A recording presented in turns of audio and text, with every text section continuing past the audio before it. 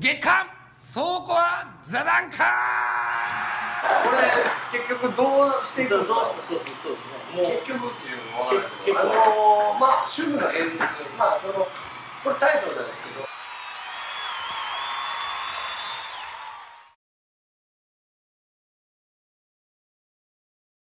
そのタイトルつけたのがその主婦の週末の顔っていうのがいわゆるうちらの男男の顔が旦那さんから見たら目線がもう週末の主婦のあり方みたいな奥さんのあり方。みたいな俺らが会うその人の奥さんもやっぱ週末の奥さんしか知らない。そうそう。で平日はその仕事から終わって帰ってきて一緒にご飯食べるみたいな。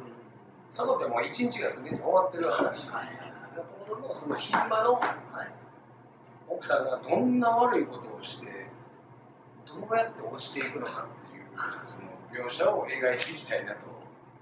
俺は思ってます。なんかね相当悪いことをやってると思う。女の人ってまあ俺がラスボスやとしたら言いたいことはそれだけかい。やじゃあまだ今のところ結構そうそう。めっそう。めっちゃ拾ってきたのになんで俺だけそんな扱いされるの？いやだって拾わなかったの。そうカッサンのカッサンもっと説明してくれる説明説明せなそう俺ら難しいのがその株に手出して殺人に犯すまでの経緯とかもいろいろ考えたりするけども家族が崩壊っていうところを描いていきたいなと最近多いからそういうのね。えまあちなみに何歳なんですか？俺の中の設定は43歳。43歳。子供は何人？子供は一人。子供は一人。一人男の子女の子うん。そこまでの設定はないけどうち息子おんねんけどその同い年の息子とか娘を持ちながらやっぱ幼稚園では40歳代の方が多いんですよ一人目が生まれてからのセックスレスがその株に行ってとかその本当に結構起こりうる現実があるところでで日本のその今の経済をはで結構ね本当に貯めてる人多いの。貯金を貯めてる人がタンス貯金ってやつですね。だんだん内緒ではい。でそのあたりの悪事が最終的に崩壊して家族が崩壊するっていう物語を描きたいなと私は思ってます。それそれはあのちなみになんか、うん、その、笠子は家大丈夫そうそれが気になったんですよ。そう、そう仲いいからこうそういう余裕が大丈夫反面教師な感じの発想があっても面白いっていう感じはある知らないまあなんかゴーンガールっていう映画があるから一度見てくださいどんなのおもろいもう見た見たら分かるいやまあなんかわからんけど、まあ要はなんか俺はリアリティがある方が好きっていうだから言うたら平日これの旦那の目線の方からこのこれを描いてるような感じって捉えてもらう。もちろん。だからおいや旦那の目線の方から描いてるのはゴーンガールの男なんだねがざっくり言ったら。嫁はんが何してるか知らない平日に。うんうん。何してんのっていう状態の時に嫁はんがえらいことしてもうてえ？ってなっていってるけどどんどんどんどんめくっていったらあれ嫁があれこんなことしてるこんなことしてる全然知らん全然知らんってなってもう見ながら、そんなね、なんか大それた話ではないんやけども、こういう株にちょっと手出すみたいなのが、恋愛した株の話したい。株株株で株で成功せえへんねん失敗すんだろ、それが、いや、ちょ、待ってや。なんで俺らそこ進められなあかんねん。ちゃうねんみんなオブラートに包みながら進んでるやんか。出てくる単語が強い。そう株とか、もうなんか、株で失敗するとかもうなんでそこまで事細かく、その、いやまあまあまでではないけど、そういう、なんか、ものを、要は今の経済の、あの仕組みについてで主婦が手出して痛い思いをするのがひょっとしたら家族を捨ててこうなんかもっと別の人生を歩むのかっていうのはまだ考えてないけど。ちなみに成功するっていう方法はないんですか？選いやあるあるもちろん。そういうのあるでその成功の仕方が家族をめっちゃ裏切る感じの方が面白かったですよ実はこんなにすごいことをしてたっていうのが家族のためであったんやけど、それがもうまたその一見息子が成長した時に母さんに会いに行ったらすごい感じになってるかもしれんけどそこまでのオチまではつけれつけれなかったから今日はあんまり主張できへんっていうのを最初に言うてえこれをみんなに考えてほしかったわけいやいや、俺だからその今カッサの話を聞いてて、今カッサのが落ちていく方の、だから言うたらちょっとネガティブな方の考えでしたけど、うん。俺はもう完全にこれで株でバリバリ儲けたっていう、そのめっちゃちょっとヒーロー的な、平日の奥さんが実はめちゃくちゃやり手やったっていうイメージもありかなと思う。いやもう全然そんなんもんありやねん。だからずっと今なんかまだ脚色がそこまでオチオチもまだ考えれてないからなんか何万も転がるけど。見どころとしては俺はその旦那が仕事に行ってる間の主婦の過ごし方っていうところがなんかちょっと俺もずっと仕事してるからで奥さん何やってるかわからないけどでも信頼しながらやってるわけやんか。でそこの信頼感がどういう形の信頼やなっていうのが週末に出るからね。主婦の平日ですね。これ大体どれぐらいのスパンの長さの物語なんで。すかスパンっていうか。じゃあ言うたら1年週間数ってこといや、その、これの話、平日やから、1週間のことを描くのか、それとも1年、2年のこと結構俺はまあ重要です。多分株で聞き方するから半年から1年もかかるからそう。俺のは正直3 4 0年かかる話だから。ああ、そうそうやね。うんに俺はもう言うたら1日ですから。だからまあこういうのがまあ出揃った中でまあそうね。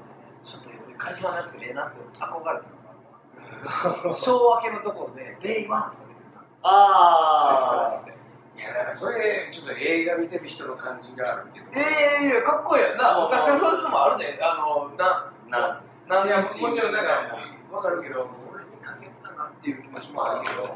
まあまあ、多分、書くの書くんやったらもう確実にこれですわ。いやいやなんでそんなに投げられるやんいや、だから確実だから、それやからそっちは方向決めよう言うてたら、その持っていこうってんの、俺が。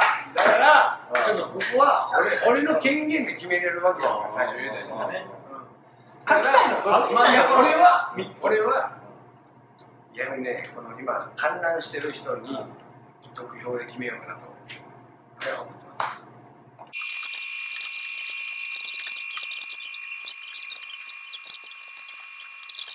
手を挙げてくださいなるほど割れましたはい。割れました食べた。こことここで割れましたまあそうですよねゼロゼロって聞こえたゼロゼロで聞こえました。ゼロで聞こえました。なんで面白そういや、ちょっとプレゼンが足らんかったんちゃうかなって、カッサンのだけ。なんかちょっと意外に、もう、プロットの話最初言ってましたもう今一切出てこなくなりましたけど、プロットが弱いのはもうこれダントツで弱かったですよ。いやだってカンタのそのランクあるから難しいけど、なんか結局、まあ、悪さするっていうのがミソや。主婦がいや悪さする人あ、いいよいいよいいよ。まあ、まあ、とりあえずこれもう消えたからいいよ。マジかよ。消えたからいいよ。えでも自分が書きやらどれだうん、どれだったら書きたいの？じゃあ。いや、なんかね、俺的にはこの2つの話を一個にしてみたいなと。それは無理やけどさっきも言ったけどそれは無理やな。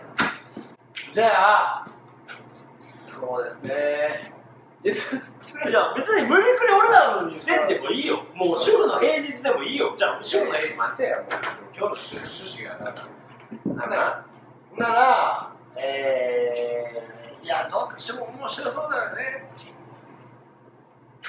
はい、はい。その顔はどっちだ？どっちだ、どっちだ、どっちだ、どっちだ、分かんない、分かんないですじゃあ、こうせえへん。あ、まあでも難しくない。俺がどっちかを書いて、二人でどっちか書く。なんで俺ら二人でやるの？なんで俺らさっき二人でけど。難易度上がってる？よ。俺ら二人でやろう。何やん、めちゃくちゃ。前じゃあもうそうだ変書いて。こいそう三人三人で書いて、三人で書いて。書いたいわ三人で書いて。書いて。も三人とも書いて。出したい俺でも塩田選手書いて。そう、主婦の平日書いて。俺も、俺書いて。る。俺も書いて。る。面白いじゃん。一年後。どれにやるの？めちゃくちゃかかってるやん。めちゃくちゃ。いや、待って、それだけ。あ、まあええや。今回年末言ったら良いお年をやからこの年末スペシャルですだから来年の年末にどれもうずっと黙っとこう。もう経緯は。うん。でもう書こうもう俺書くわじゃあ。俺、俺も、俺も書く、俺も書く、俺も書ける。それで面白い。責任持って。で責任持って書けよ。お前その一番しようとか言うから。なプロだから、株価が乱高下とか言ってないよ。じゃあ出来上がった作品を読むことはここの無理やんかこの番組だからで結果結果結果。結果結果でも応募していやもうオーバーしよう。じゃあじゃあしましょうしましょう。しこれましょう。で3つとも多分応募する賞が違うと思う、だからそれに合った賞をそうなの。またまま俺ちょっと行く？いやこの2つは最悪一緒のやつでもいけるかもしれんけど確かにシューのヘッドと同じショーだったお前ら差別やるよだって無理やん多分。なんで俺だけ責められなあかんねん傷ついた。ただの受け止めちゃうからなんで俺だけ責められなまあ言うたよね。なんか強い口調ばっかりやねん俺にみんな。でもいずれなんでこっちからこっちはもうみたいいやで も楽しい。笠子のいじくいやちょっと待って。とりあえずとりあえずの感じではあの行けそうなところに全員送ってみて。そうですね。いやその一緒一緒か別かをまた別にして、まあ、一緒になってもいいしその何か取れましたでいいやん。そう。ただどこの俺が一個だけやりたいのはその各々の作品を全員で読むやんか。もうあのこの番組じゃなくて。で読むやんか。それの感想を一回番組ではやりたいなと。思うああまあまあそれはいい。応募応募する前に。はいはい。それでだから時事通信でやってる僕らの。あそう。いやなんかこうした方がもうちょっと面白かったよみたいなのなんか修正するのもありかな。あ俺は思うね。あもうリアルあくまでこの番組から新人文学賞を取りましょうっていうことな新人文学賞を出そうじゃなくてはい。この番組としてはい。新人文学賞を取りましょうということやから。だからみんなでこれはこの出たあれで変えてくれてもいいですそうですね。あみんな皆さんね。うんでも全然今のからインスパイアされて原案は絶対変えるな。はい。原案ああそういうことです。は原案にもうおのおのの名前かあの総番段階か。まあとりあえず。何でもいいこれでもしパクって書いたようなやつがいたらもう速攻でこれ残しといて怒り散らすやつ毎日あげる YouTuber になるわようわ いやだから俺はちょっとそのね今の時代背景のその野田政権から安倍政権に変わっての株価の上がりとかがあったりそういうところに儲かった人は必ずいるからその描写をしたいっていうただそれだけの話やねんけど。ー主婦が落ちていくところも書きたいんですよね。あもちろんねまあまあまあだからそういうのをいろいろ総称していろいろ盛り込むから。本当に。はただ今の、はい。今ナウで生きてる時代背景が好きっていう。その時の主婦の感じを出したいっていう。僕からアドバイスすると笠子前回多分売れるけど。そんなことそうミックスできないです自転車そこそこまで。ほんまミックスできない。バーンできん無理無理無理。だってだって幸せがないもん。え？幸せがその中いやいでやいや。あ結婚した子供が子供がそうだからそれゴールにして。それゴールにして。この店ができた時に。そうそうそう。みたいなできてできたのがゴールじゃないから。できてからが疲れるもん。疲れるもん。結構リアルに考えてて何ページぐらいで？でも僕余裕で160ページぐらいで終わらそうと思ってますけどね。あはい、やっぱあれその装飾をすればするほどいろいろできるんですけど僕の場合これ結構ストレートな話なんでうん。言っちゃえば。お終わりが決まってるところは若干自分の中であるんですよ。でもなんかねなんかボーカリストらしい発言やなと俺は思うだから俺らは別にあのアーティストでも何でもないからなんかこうこの一作品みたいな渾身の一作品みたいなんでちょっと時間が俺はかかりそうな気すんねん。でもちょっとなんか面白いからいやだからこれだからちゃんとこのこれを機に広げていくっていうのが僕らの回なんでまあいいんじゃないですか。自分らこのことも掘り下げていって、はい。もうブログで書いてもらってもいいですよ。そうそうそうだから平日の主婦。その第1話。いや本当にまあなんか本当にブログで帰れない。だから1年以内にここに応募するっていうのが今回のテーマなので、そうですね。だから来年のこの回で応募したやつを発表しましょうよ。だからこのものを追い詰める企画ではないので、はい。いや別にそのな追いなんも思ってない。ので、に、はい。なんか自由に描い。てい。たはい、頑張ってい。きましょう。そうですねじゃあ、えっ、はい。と、文庫本になった時に皆さんにお会い。しましょう。はい、よろしくお皆さんにお。会い。しましょうとい。うことで、えっ、と、第4回、はい。えー、総合は座談会、えー、新人文学賞への道、プロット編、えーこんな感じで終わりたい。と思い。ます。はい。ありがとうござい。ました。ありがとうござい。ました。えー、来月は何をするんですかあ、そうや、まだあんのか。まだ続い。てるのこれ。はい。続い。てる。来月僕の回ですよねはい。来月はカウボーイビューアップという はい、結局やんねん。はい、取り上げますちょっとね、えーといいっすね。カリスマシルはいサブカルチャー。1月の18日。はい、1月18日18日は、えっと、ひたすら私がカウボーイビューアップボックスセットを持ってきて、カウボーイビューアップのことだけを語り続けるカウボーイビューアップの回。えーとカウボーイビーバップっていうのがもうっていうところから、そうです、はいわからなくていいです。ゆっくりコンテンツ丁寧に僕ら二人が教えるんで。あの限定のボックスセットをここにバーンって置いてその1巻から全部全話説明します。全話解説。映画版も含めた全話を解説します。ということで、来月はカウボーイマップ。特集をガシガシやってください。ありがとうございました。ありがとうございました